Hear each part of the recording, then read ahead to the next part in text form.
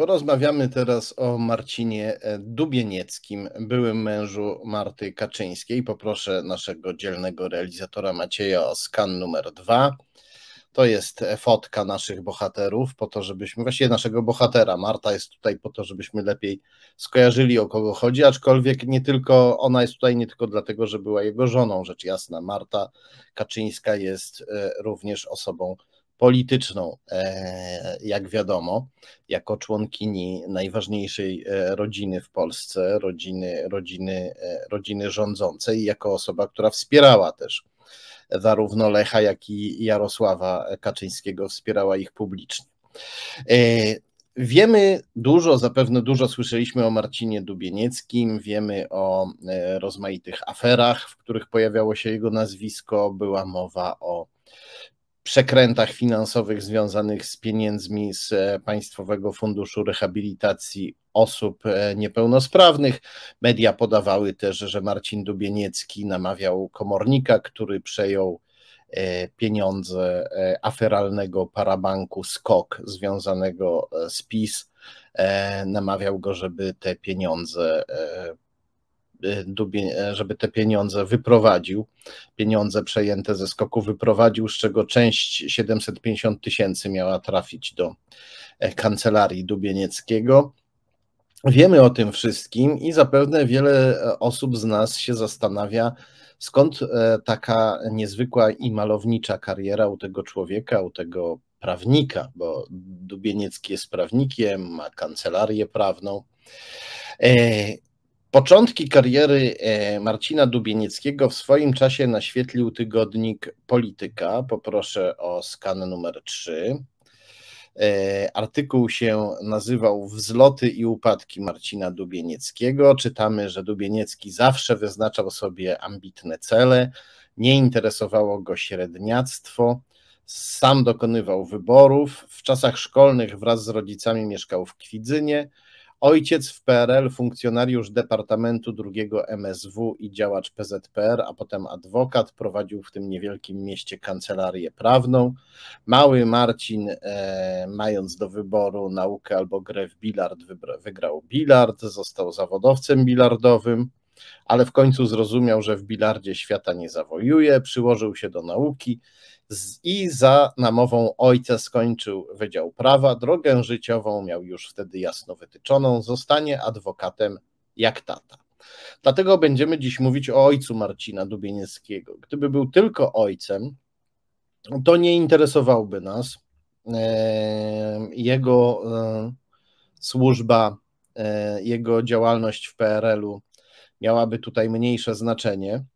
No ale tak się składa, że mówimy o ojcu, który był mentorem życiowym, który mm, wybrał Marcinowi Dubienieckiemu zawód, który pchnął go na ścieżkę kariery adwokackiej, a wiemy, że w środowiskach i prawniczych, że w tej branży wsparcie ojca, który jest prawnikiem, jest bardzo e, ważne, ułatwia po prostu wejście w szeregi prawników. Niestety tak, tak jest. Kaczyński sobie tego nie wymyślił. Tak niestety w Polsce jest. I e, w tym samym artykule, w tym artykule jest mowa, we fragmencie, który widzimy, jest mowa o tym, że ojciec e, pracował w Departamencie II Ministerstwa Spraw Wewnętrznych, komunistycznego Ministerstwa Spraw Wewnętrznych w PRL. I e, artykuł polityki dalej rozwija to stwierdzenie. Poproszę o kolejny skan. Czytamy co następuje. Gdy Marcin związał się z Martą Kaczyńską, uwaga mediów skupiła się na jego ojcu, który służył w organach bezpieczeństwa PRL. Tygodnik nie kpił wówczas, że Lech Kaczyński będzie musiał zdekomunizować i odesbeczyć swoją rodzinę.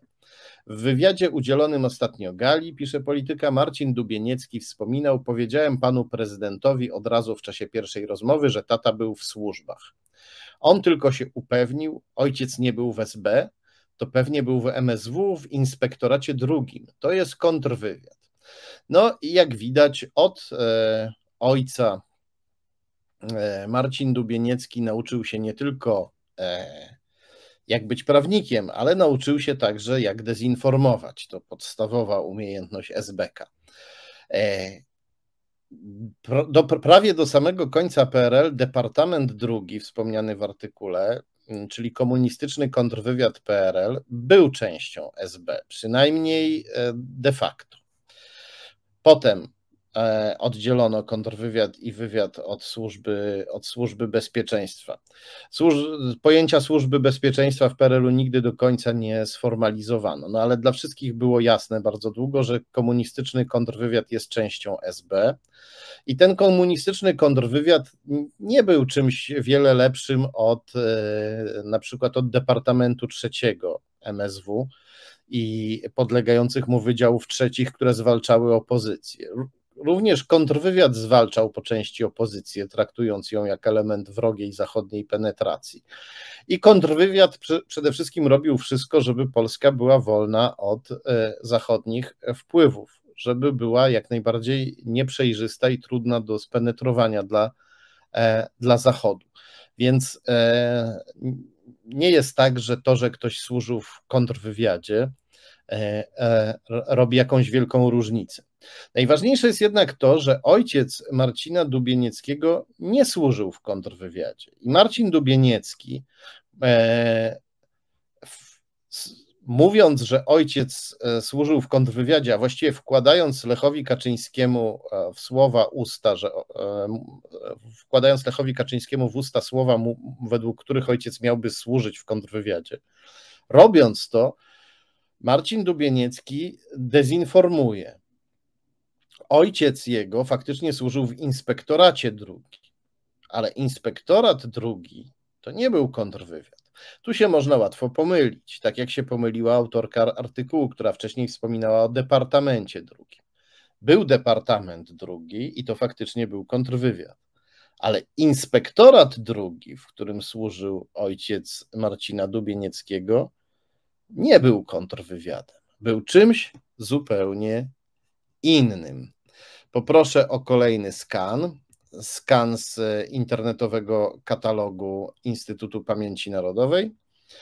Tu, tu się faktycznie potwierdza, że Marek Stanisław Dubieniecki z Kwidzynia e, służył w Gdańsku najpierw w Wydziale Trzecim, e, walczącym z opozycją, a potem w Inspektoracie Drugim, który również walczył z opozycją nie z wrogimi zachodnimi szpiegami, z opozycją polską, jak najbardziej polską opozycją polityczną i walczył z nią ten inspektorat drugi, ta jednostka, w, której służył Marek Dubieniecki, walczył z opozycją metodami bardzo e, przewrotnymi.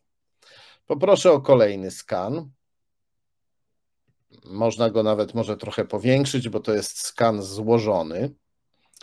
E, to jest skan złożony z dwóch skanów, taki montaż dwóch skanów. Na górze mamy fragment po prostu z Wikipedii, gdzie czytamy, że inspektorat drugi w Gdańsku stanowił e, część biura studiów SB.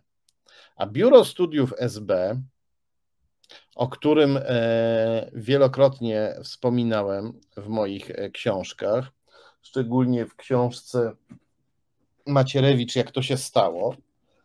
Biuro Studiów SB było e, jednostką, którą powołano, żeby zwalczać e, najważniejszych e, liderów i najważniejsze gremia opozycyjne, stosując metody najbardziej przewrotne. Na przykład tworzono pseudoopozycyjne organizacje, które przyciągały do siebie zbuntowanych e, ludzi. Tak robiła Solidarność Walcząca we Wrocławiu, którą e, opiekowało się Biuro Studiów SB i w której swoją karierę e, zaczął obecny premier Mateusz Morawiecki. Jednym z twórców Biura Studiów SB był pułkownik e, Stefan Mikołajski, człowiek niezwykle przewrotny, człowiek, któremu zawdzięczamy Antoniego Macierewicza. W tej książce jest opisane to, jak Stefan Mikołajski bronił Macierewicza przed e, działaniami zwykłych SB-ków, którzy teoretycznie mieli Macierewicza podsłuchiwać, śledzić, ale nie mogli tego robić, bo e, przeszkadzał im w tym pułkownik Mikołajski i jego ludzie. E, jednym z głównych wrogów, głównych celów Biura Studiów SB był Lech Wałęsa. To Biuro Studiów SB szerzyło e, pogłoski o tym, jakoby Lech Wałęsa e, w latach 80. współpracował z Esbecją. Robiono z niego konfidenta, wykorzystując oczywiście to, że na początku lat 70. E, miała miejsce epizodyczna współpraca Lecha Wałęsy ze Służbą Bezpieczeństwa. Wszystko na to wskazuje. Jednak nic nie wskazuje na to, żeby Wałęsa w następnych latach ze Służbą Bezpieczeństwa współpracował, ale Biuro Studiów SB starało się e, wytworzyć takie wrażenie, mszcząc się też w imieniu całej SBC na Wałęsie za e, zerwanie, e, za zerwanie współpracy. Inspektorat drugi w Gdańsku zwalczał Wałęsę zwalczał, e, zwalczał Solidarność, ale zwalczał, e, e, zwalczał w szczególnie zawzięty sposób Lecha, Lecha Wałęsę i o tym jest mowa też w o tym jest mowa w dolnej części tego skanu. To są dwa fragmenty książki o Lechu Wałęsie i SB autorstwa słynnych pisowskich historyków Gontarczyka i Cęckiewicza. Więc y, jak widać tutaj no, pisowcy nie mogą zaprzeczyć, że ojciec Marka e, Dubienieckiego e, zwalczał intensywnie Lecha Wałęsę jako esbek, a w każdym razie działał w jednostce, która zwalczała intensywnie Lecha Wałęsę jako e, i że działał w jednostce esbeckiej, która intensywnie zwalczała Lecha Wałęsę. I to jest bardzo ciekawe, że ktoś, kto e, zwalczał Lecha Wałęsę jako esbek, potem pchnął w dorosłe życie, wypromował swojego syna, a ten syn związał się z rodziną e, najzawziętszych wrogów Lecha Wałęsy w wolnej Polsce, czyli z rodziną e, Kaczyńskich. To dosyć niezwykła koincydencja od razu rodzi się pytanie, czy syn po prostu, czy syn, czy syn kontynuował e, pracę ojca w nowych, w nowych warunkach. Żeby przyjrzeć się bliżej pracy Dubienieckiego ojca e, w Służbie Bezpieczeństwa, zajrzałem do Instytutu Pamięci Narodowej postanowiłem znaleźć akta personalne funkcjonariusza Marka Dubienieckiego i znalazłem. Poproszę o kolejny skan. To jest okładka tych akt. E, znajduje się tam również, poproszę o kolejny skan, w tych aktach znajduje się również zdjęcie Marka Dubienieckiego, tak właśnie wyglądał. Znajduje się jego podanie o przyjęcie do służby bezpieczeństwa. Poproszę o kolejny skan. Czytamy tutaj, że e, Dubieniecki senior pisze w lipcu 86 roku, kiedy naprawdę trudno już było w Polsce wierzyć w komunizm trudno było chcieć być esbekiem, to nie było coś, czego ktoś by chciał. Esbecja była, esbecja, czyli komunistyczna służba bezpieczeństwa, policja polityczna i służby specjalne reżimu no, była powsze otoczona powszechną nienawiścią, spotykała się z powszechną pogardą. Tymczasem Marek Dubieniecki pisze: Proszę o przyjęcie mnie do służby w Wojewódzkim Urzędzie Spraw Wewnętrznych w Gdańsku. Prośbę swoją motywuję tym, iż jestem zainteresowany problematyką pracy w służbie bezpieczeństwa, a w szczególności jej e, charakterem i zadaniowaniem. E, powyższe wymienione cele są absolutnie zgodne z przekonaniami, jakie reprezentuję. Proszę uprzejmie o pozytywne rozpatrzenie mojej prośby, Marek Dubieniecki. E, I co się dalej dzieje? No są, e, zbierane są opinie o kandydacie do służby. Służba Bezpieczeństwa sprawdza kandydata. Poproszę o kolejny skan. W jednym z dokumentów czytamy, że E, Dubieniecki Marek ma wykształcenie wyższe, skończył Wydział Prawa i Administracji Uniwersytetu Gdańskiego, jest członkiem PZPR. E, kandydat po ukończeniu szkoły średniej i odbyciu zasadniczej służby wojskowej podjął studia na Wydziale Prawa, uzyskał tytuł magistra administracji, potem tytuł magistra prawa, rozpoczął pracę w prokuraturze e, rejonowej w Kwidzyniu jako aplikant. Za okres dotychczasowej pracy jest opiniowany pozytywnie, posiada dobre opinie z organizacji społecznych i PZPR. W roku 1985 odbywał praktyki w Wydziale Kryminalnym i Dochodzeniowo-Śledczym Urzędu Spraw Wewnętrznych w Elblągu, gdzie był dobrze oceniany. Rodzina kandydata posiada również nienaganną opinię społeczno-zawodową. Teść był delegatem na dziewiąty zjazd PZPR, czyli Polskiej Zjednoczonej Partii Robotniczej, komunistycznej partii e, rządzącej. Co tam dalej jeszcze znajdujemy? Poproszę o kolejny skan. Znajdujemy fragmenty ankiety wypełnionej przez kandydata, gdzie czytamy, że kandydat należał do Towarzystwa Przyjaźni Polsko-Radzieckiej, czyli do e, organizacji, która służyła Sowietom do tego, żeby infiltrować Polskę i zacieśniać swoje związki z e, PRL-owskim reżimem. Należał do komunistycznych e, organizacji młodzieżowych. Czytamy też, że mm, wyjeżdżał sobie na zachód i że jego żona też wyjechała na zachód. To również zgłosił. W 1974 roku pojechała do koleżanki do Stanów Zjednoczonych. No ale to mu nie zaszkodziło, ponieważ został przyjęty do e, służby. No najwyraźniej obdarzono go dużym zaufaniem, mimo że miał kontakty z Zachodem. Do, do czego jeszcze przyznał się Marek Dubieniecki, gdy starał się o pracę w SB? Poproszę o kolejny skan. E, Marek Dubieniecki napisał, co następuje e, w tej ankiecie. Zainteresowanie problematyką pracy w organach bezpieczeństwa, a w szczególności wykonywanie pracy w określonym kierunku kontrwywiad, bo on chciał pójść do kontrwywiadu, ale do kontrwywiadu nie trafił. Odnośnie ambicji życiowych, na plan pierwszy postawiłbym podnoszenie kwalifikacji zawodowych połączonych z dalszym kształceniem się po linii zawodowej. Warunki socjalno-bytowe, dostateczne. Rozłąka z rodziną z powodu braku mieszkania. Mieszkam przy rodzicach, żona przy swoich warunki materialne słabe.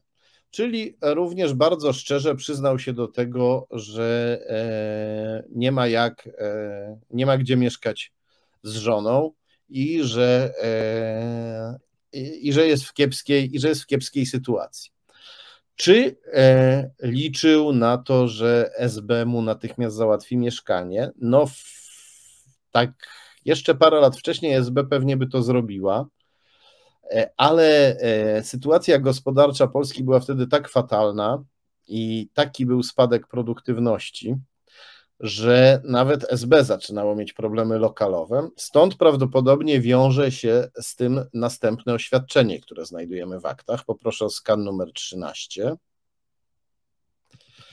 Otóż Marek Dubieniecki oświadcza, że w okresie e, trzech lat od przyjęcia mnie do służby nie będę ubiegał się o przydział mieszkania funkcyjnego. Wiadomo mi, że po tym okresie e, mogę, przepraszam, bo tutaj jest to e, e, e dość słabo widoczne, mogę zwrócić się e, z raportem o przydział takiego mieszkania i będę umieszczony na liście czekających. Czyli e, mimo ciężkich warunków, w jakich żyje, ten młody człowiek strasznie chce służyć w SB i deklaruje, że przez trzy lata nie będzie się ubiegał e, o mieszkanie. Jeszcze przez trzy lata będzie cierpiał, zaciskał e, zęby i mieszkał z dala od, od żony. Poproszę o kolejny skan.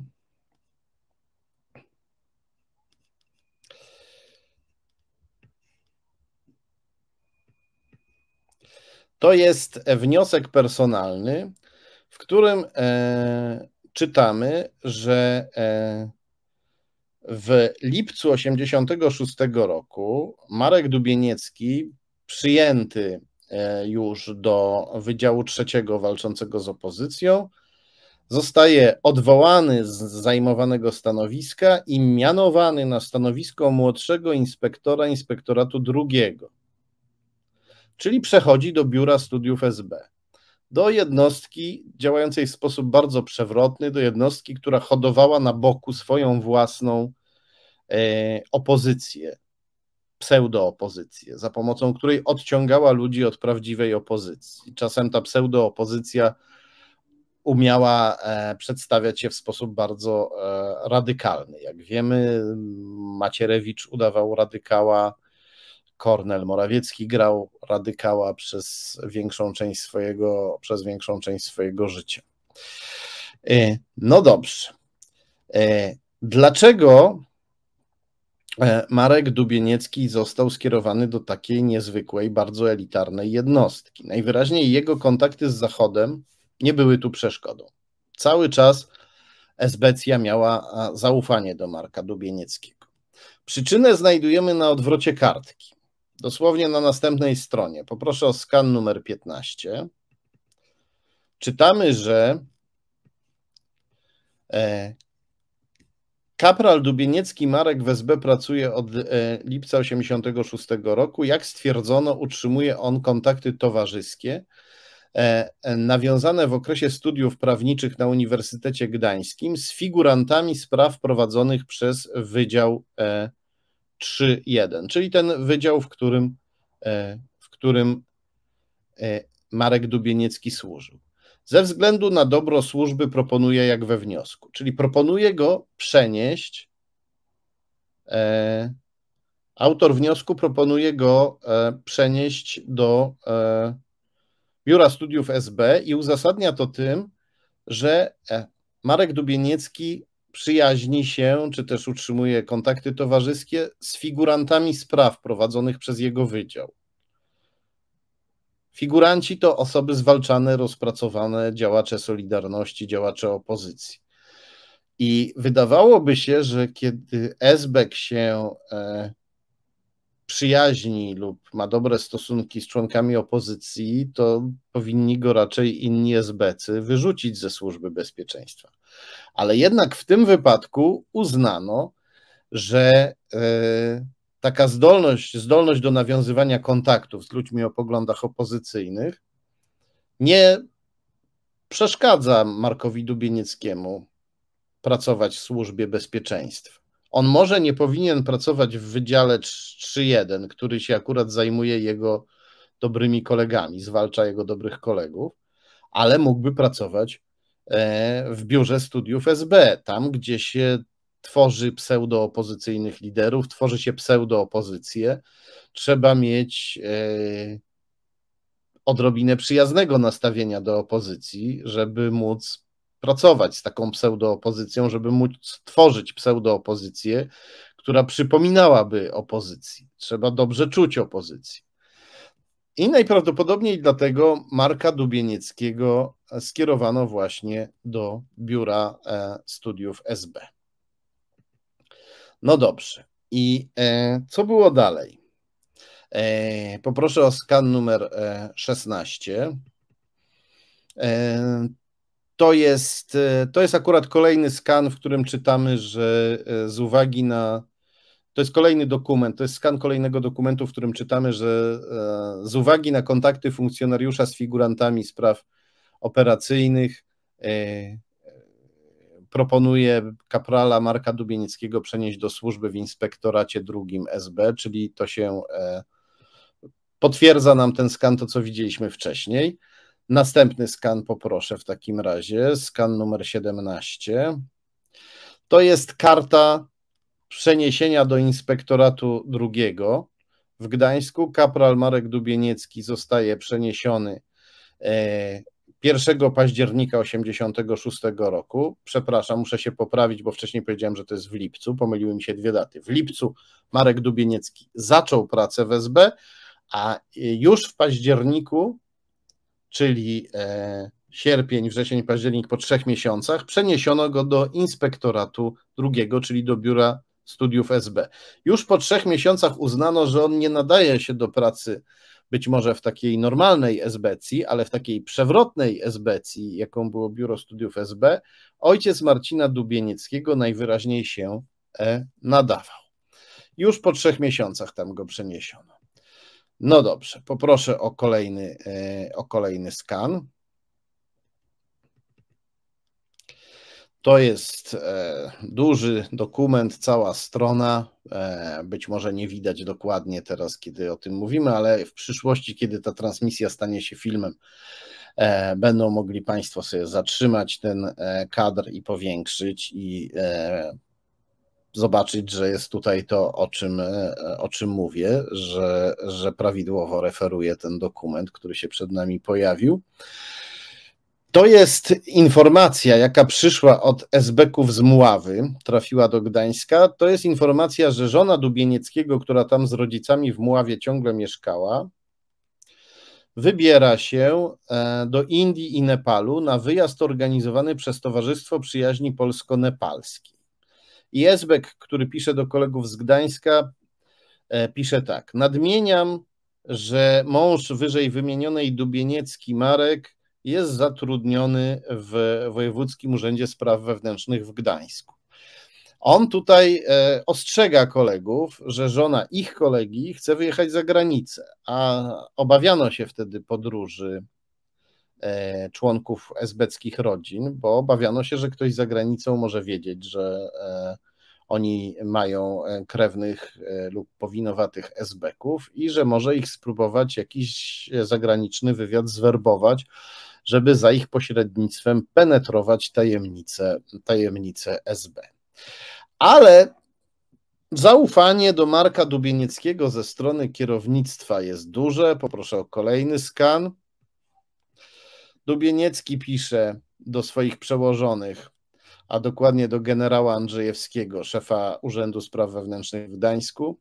Pisze tak: Zwracam się z uprzejmą prośbą do towarzysza generała o wyrażenie zgody na udział mojej żony Hanny Dubienieckiej w wyprawie naukowo-krajoznawczej do Nepalu i Indii.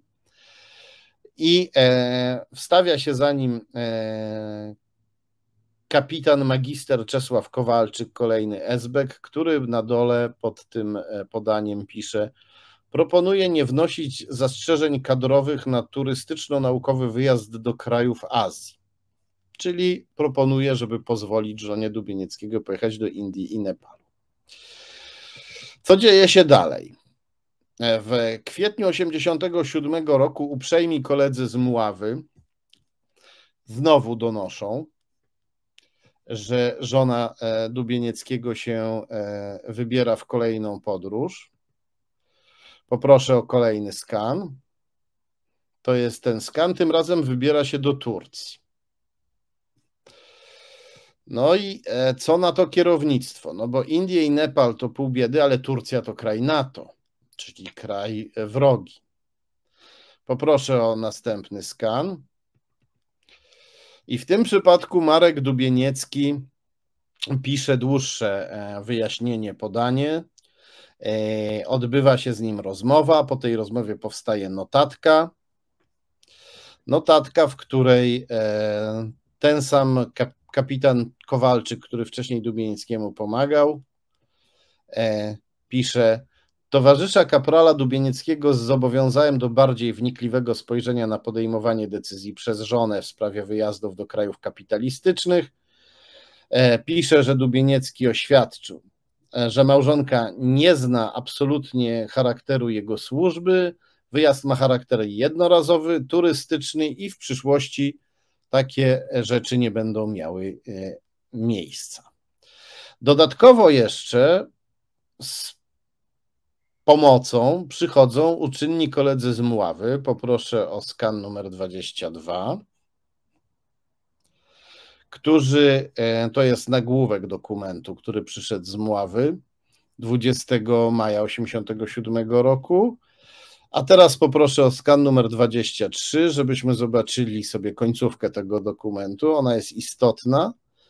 E, I tutaj koledzy z Mławy piszą, że e, żona Dubienieckiego nie przedłużała pobytów za granicą, czyli jak wyjeżdżała, to, to zapowiadała, kiedy wróci i wracała w tym terminie. Co w PRL, władze PRL uważały to za bardzo ważne, za dowód lojalności obywatela. I w składanych kwestionariuszach podawała, iż mąż Dubieniecki Marek zatrudniony jest jako radca prawny w Wojewódzkim Urzędzie Spraw Wewnętrznych w Gdańsku, czyli nie ukrywała, że ma męża SBK, aczkolwiek prawdopodobnie przypuszczała, że on jest w tej SBC tylko radcą, radcą prawnym. Dlatego pewnie Dubieniecki pisał, że małżonka nie zna charakteru jego pracy. No ale jeśli nawet coś podejrzewała, to pewnie Dubieniecki kazał jej tak pisać. Więc wygląda na to, że mimo tych wszystkich e, problemów związanych z tymi wyjazdami, Służba Bezpieczeństwa do e, Marka Dubienieckiego, ojca Marcina Dubienieckiego, ma zaufanie. No ale jednak e, w lipcu 1987 roku, jak grom z jasnego nieba, pojawia się raport. Poproszę o kolejny skan, to będzie właśnie skan tego raportu. Pojawia się raport, w którym Marek Dubieniecki pisze tak. Zwracam się z prośbą do towarzysza generała o zwolnienie mnie z resortu Ministerstwa Spraw Wewnętrznych. Prośbę swoją motywuję faktem, iż w dniu 14 lipca 1987 roku w obecności kierownika Inspektoratu II Służby Bezpieczeństwa podpułkownika magistra e, Pawlickiego, dwóch funkcjonariuszy IOF, czyli Inspektoratu Ochrony Funkcjonariuszy. To taki był inspektorat, który pilnował, żeby funkcjonariusze nie zeszli na złą drogę, żeby ich nikt nie skusił do jakiejś działalności kryminalnej albo do zdrady komunizmu. Dwóch funkcjonariuszy Inspektoratu Ochrony Funkcjonariuszy przeprowadziło ze mną rozmowę, w trakcie której zarzucono mi stan separacji małżeńskiej.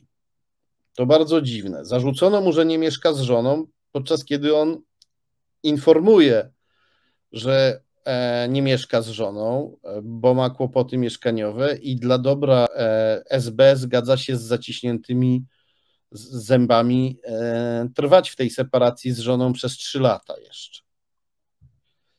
On tutaj się, jakby to powiedzieć, bohatersko wyrzeka na trzy lata roszczeń mieszkaniowych, a tu nagle robi mu się z tego zarzut. E, zarzucono mi stan separacji małżeńskiej, utrzymywanie układów towarzyskich z kolegami ze studiów. Tu chodzi o tych figurantów, czyli o te osoby zwalczane przez SB, z którymi Dubieniecki poznał się na studiach e, i które no, stały się e, jego wrogami, gdy wstąpił do SB, chociaż on się nadal z nimi zadawał, a powinien ich traktować jak wrogów. No ale dotąd to nie było problemem. Przesunięto tylko E, Marka Dubienieckiego z szeregów zwykłej SBC, która po prostu opozycję zwalczała, do biura studiów SB, która, które e, udawało, że się z opozycjonistami przyjaźni i, i tworzyło pseudo-opozycyjne struktury. No, do tej pory też to, że on ma układy towarzyskie z opozycjonistami, no najwyraźniej do tej pory traktowano jak zaletę. A teraz jest, się robi z tego zarzut. E, informuje, iż podane wyżej fakty nie miały miejsca i nie polegają na prawdzie. E, pisze dalej e, Marek Dubieniecki. Pisze, że funkcjonariusze Inspektoratu Ochrony Funkcjonariuszy nie dali wiary jego wyjaśnieniom. Sugerowali, że są w posiadaniu dowodów, że on kłamie, ale nie, nie chcą ich wyjawić. I w i pisze Marek Dubieniecki, w związku z powyższym uważam się za osobę niesłusznie posądzoną, odczuwającą zarzut pozbawienia zaufania do wykonywania obecnej pracy, jak i moich kwalifikacji i prosi o, e, o zwolnienie. W odpowiedzi na to, poproszę o kolejny skan, Inspektorat Ochrony Funkcjonariuszy e, wysyła do e, przełożonych e, Dubienieckiego notatkę i pisze, że e, przeprowadzili rozmowę z Dubienieckim.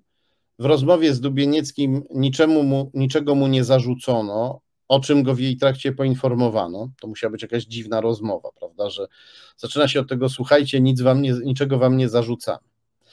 E, e, potem jednak w tej notatce no, zarzucają mu różne rzeczy. Mm. piszą, że e, Dubieniecki nie rokuje, żeby być dobrym pracownikiem operacyjnym, że jest nieszczery, więc nie może dobrze wykonywać zleconych zadań, a posiadane materiały, materiały posiadane przez Inspektorat Ochrony Funkcjonariuszy stawiają Dubienieckiego w dwuznacznym świetle jako funkcjonariusza naszego resortu. No dobrze, więc w tej sytuacji e, Dubieniecki powinien ze Zbecji wylecieć z hukiem. I właściwie powinno zostać wszczęte jakieś śledztwo na temat nieszczerości Dubienieckiego, jego dwuznaczności, tych jego kontaktów z opozycjonistami, no bo kto wie, co on za robotę tak naprawdę robił, prawda? Tak powinien pomyśleć Esbek. Czy on tutaj nie donosił opozycjonistom, co robimy? A może im zdradził na przykład e, przewrotne tajemnice biura studiów SB? No to to już byłoby, to już byłby z punktu widzenia esbeckiego kompletny horror. E, no, wypadałoby jakieś śledztwo wszcząć, może nawet postawić jakieś zarzuty. Tymczasem, co robi SB? Poproszę o kolejny, ostatni już dzisiaj skan, skan numer 26. SB na pożegnanie wystawia e, Dubienieckiemu laurkę. Taką laurkę.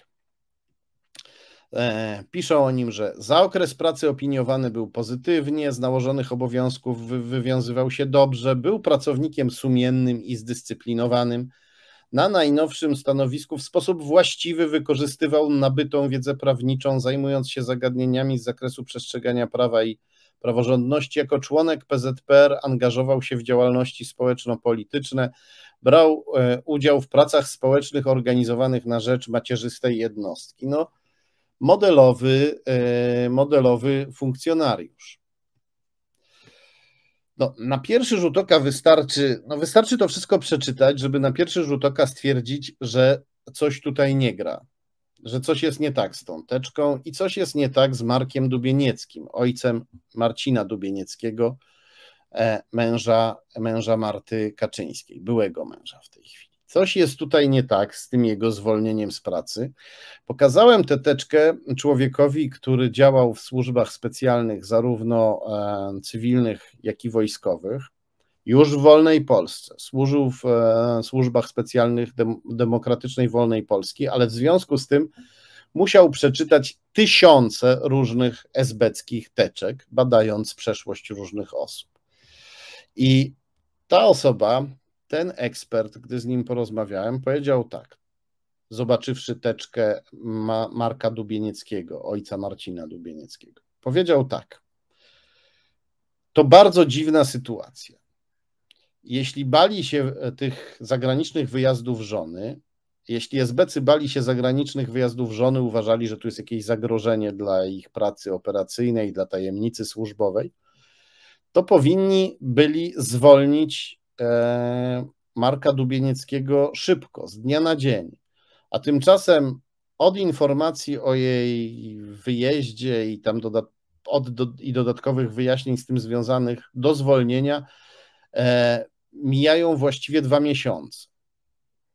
E, a przede wszystkim, zanim by podjęto taką decyzję, no, że wyrzucamy tego towarzysza, bo on ma wszędobylską żonę, która próbuje podróżować po straszliwych, groźnych krajach Zachodu, zanim by go wyrzucili, to powinni żonę sprawdzić bardzo dokładnie, a w razie braku podejrzeń dać jej pracę w wywiadzie. No żona SBK, która nie boi się jeździć po świecie, chce to robić, to jest bardzo dobra kandydatka dla wywiadu. Ona się jeszcze, e, jak czytamy w teczce Dubienieckiego, że ona e, była pasjonatką Esperanto, języka międzynarodowego.